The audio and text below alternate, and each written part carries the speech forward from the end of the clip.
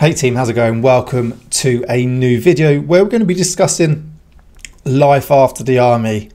Uh, I left the British Army two years ago, back in 2022, after a 16 year career. Do I miss it? Do I want to join back up? Would I join back up? Uh, we're going to go through that today, and hopefully, my video may help use those looking to join the army, whether it's after four years, 22 years, whether you're looking to get back in, whether you're, whatever you're unsure. And I just want to talk about my experience and sort of whether I miss anything and whether I prefer being out or in. Um, but before we get into that, uh, I'd hugely appreciate if you could like, share, and subscribe. You can check out our merchandise, our Combat Ready HQ t-shirts. We've got alpha tees, we've got the basic tees. We've also got four coffee blends, uh, and you can also support the channel by becoming a channel member, join the Patreon, uh, and if you could just yeah, like, share, share, share, share away. Um, I'd hugely appreciate it. But getting into the video then. So I left in May 2002. I joined in September 2006 at the age of 16. So for me, leaving was quite tricky. I didn't know anything else. I literally left school, got my grades in the August of 2006, and I was in the army in September 2006. Um, I was 16 years old and three months. Uh, and that was a big shock as it was going from that to the army. Um, yeah, massive culture shock. And then I did 16 years, had a great career, um, got to do everything I wanted to do. Went on tour um, in Afghan 2012. I was an instructor at Pirbright as a section commander. Absolutely loved that. Um, I did overseas exercise. I went to America, Oman, Kenya.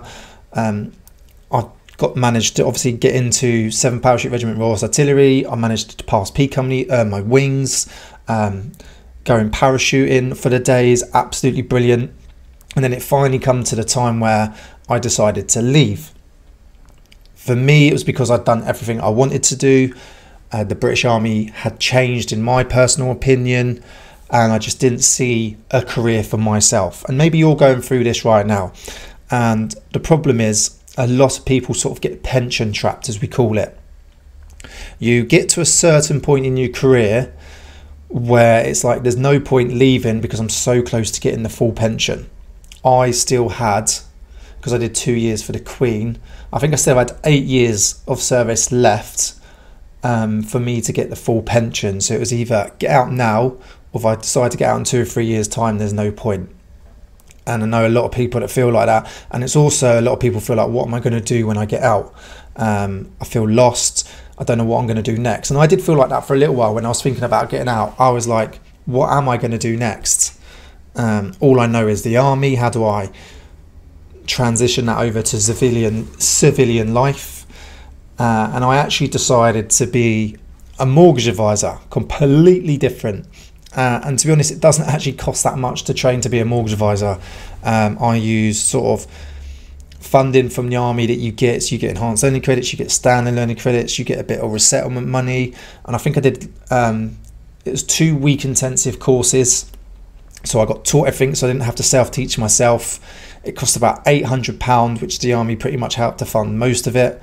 They paid for all the accommodation, they paid for the travel as well, and they paid for my food while I was there as well. So, absolutely brilliant. So, that massively helped. It then come to leaving. I had three months worth of leave built up, so I went on leave for three months, which was amazing too, because you're still getting paid by the army. And then I finally actually left. And you know what? I didn't find it as hard as I thought I was going to there was its struggles um, at times, but I actually feel like I transitioned pretty well. Um, I went into the job, thoroughly enjoyed it. Um, really enjoyed being a mortgage advisor. I was working for one of, if not the best company, uh, especially in London and the UK. Um, they're an absolute great mortgage um, brokerage.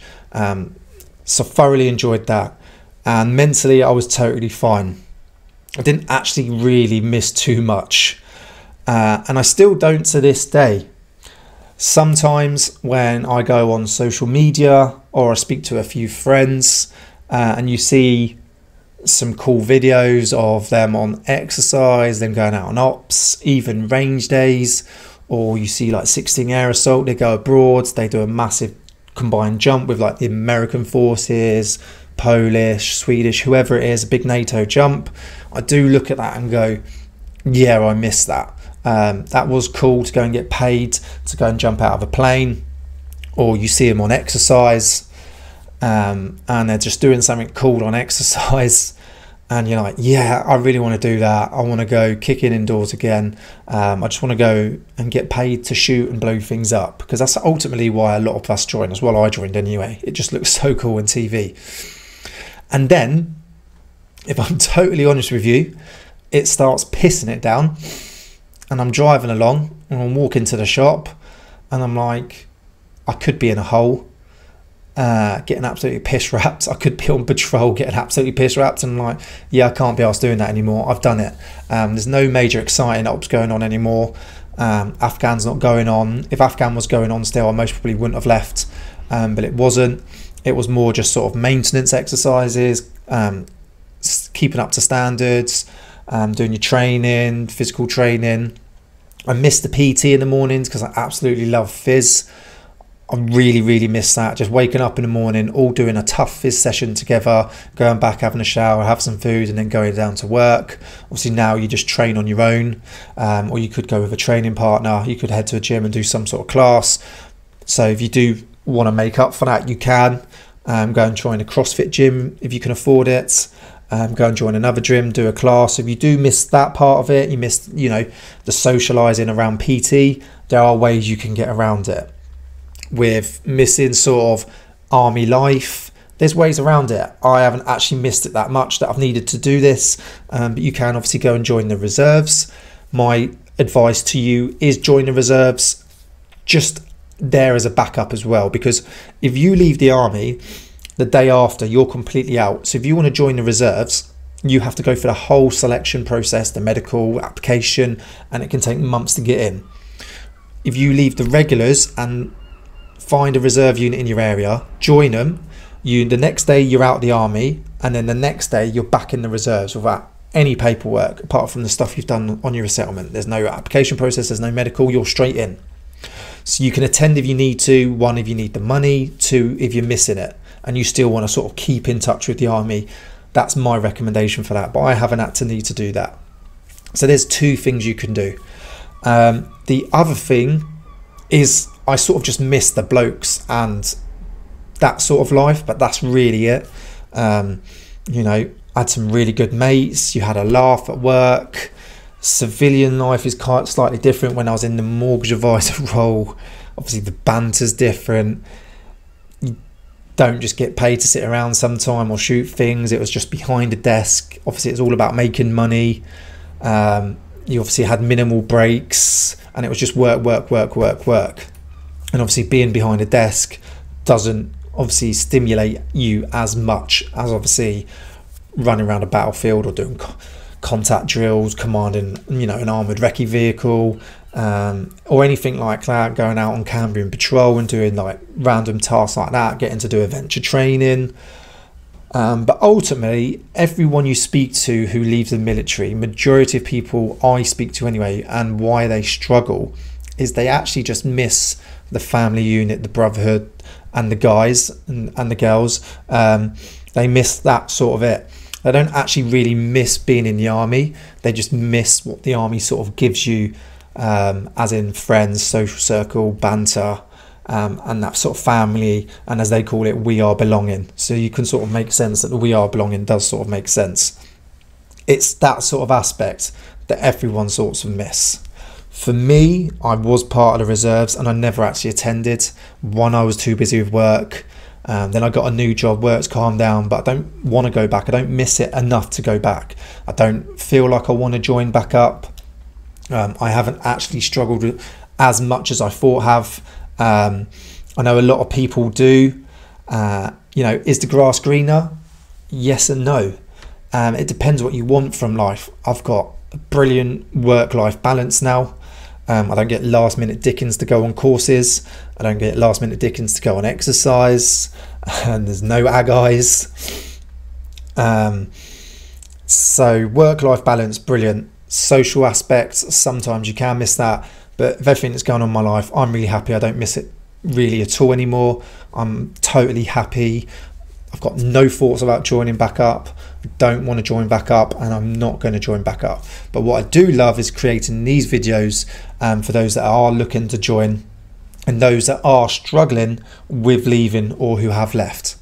Um, I highly recommend that everyone should join. I really, really do. I think it's an absolute great career.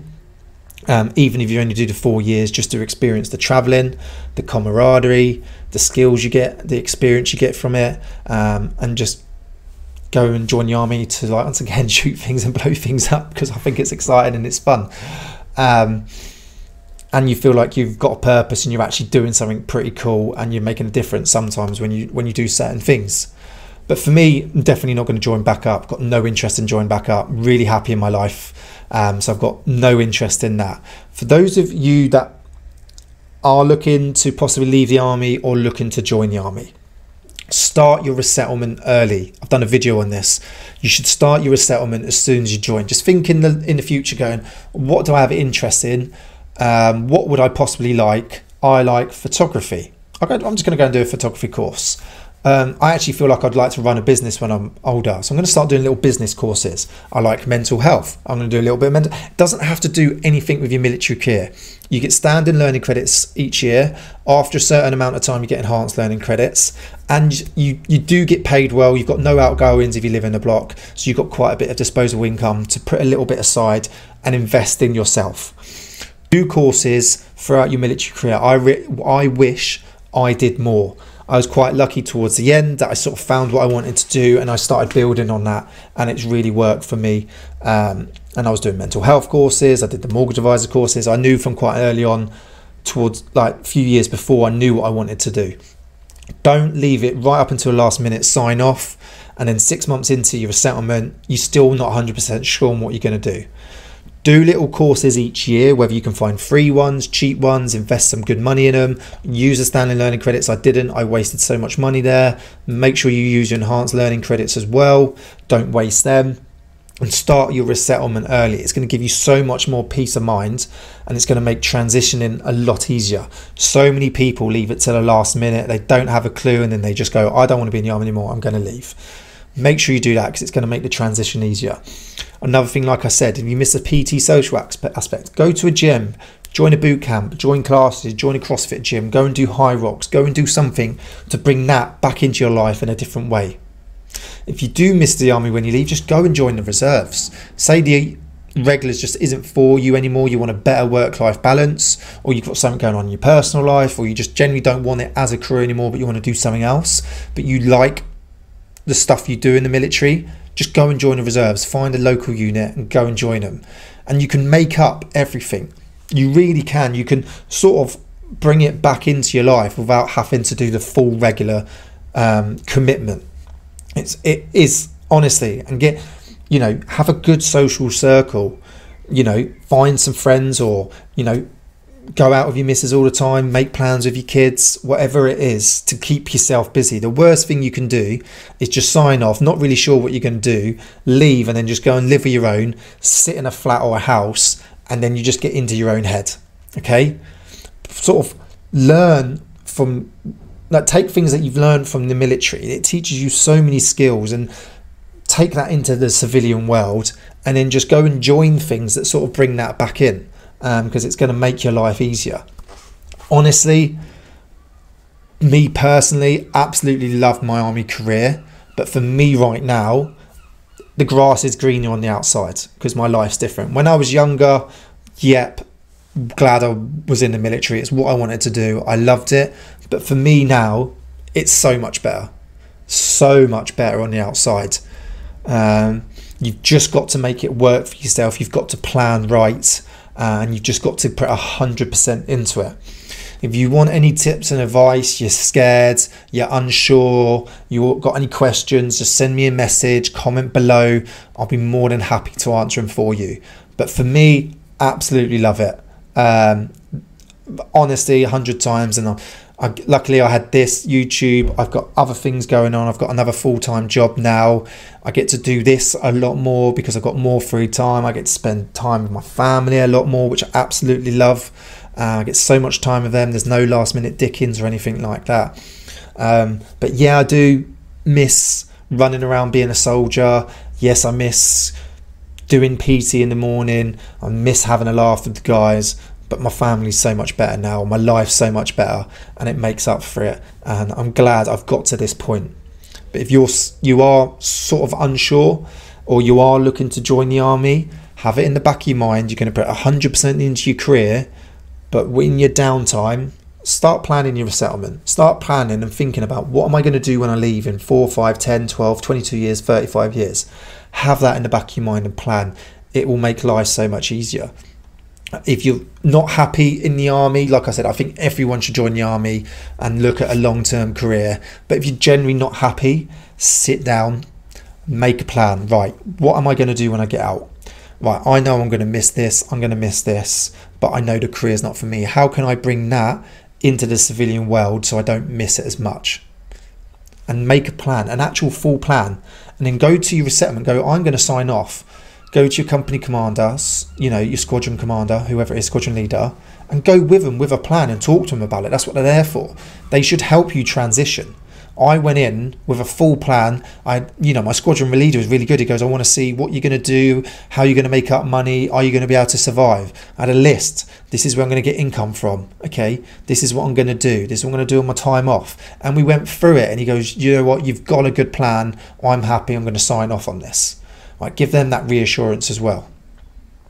Um, because once you leave as well, you leave. Like you know, they don't care about you. But we'll cover that in another video.